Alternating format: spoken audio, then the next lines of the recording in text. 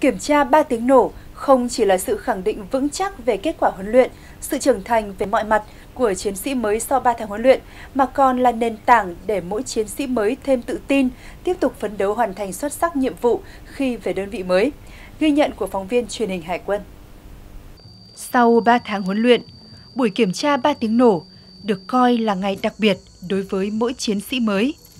Dù áp lực, nhưng họ đều bình tĩnh, tự tin, xử lý nhanh gọn trong từng yếu lĩnh, động tác.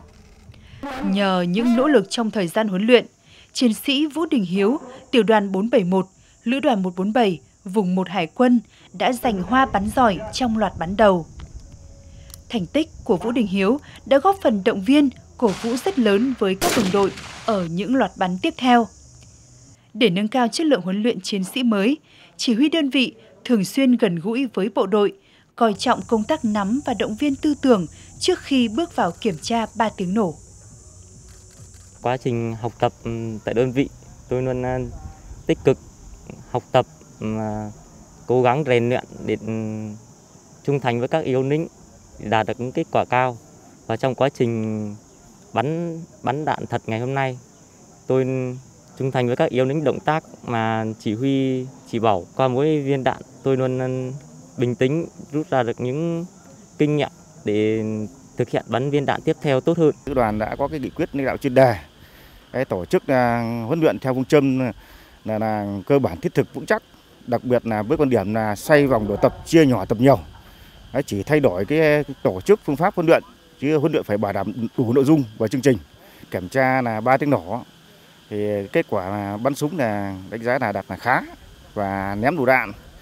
À, và đánh đỏ là đạt giỏi. Đơn vị bảo đảm an toàn tuyệt đối.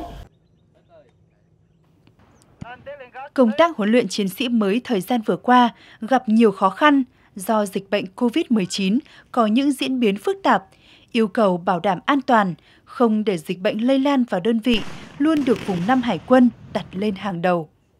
Thao trường huấn luyện được bố trí trong doanh trại đã giúp các đơn vị chủ động phòng, chống dịch, đồng thời đảm bảo đúng, đủ nội dung huấn luyện.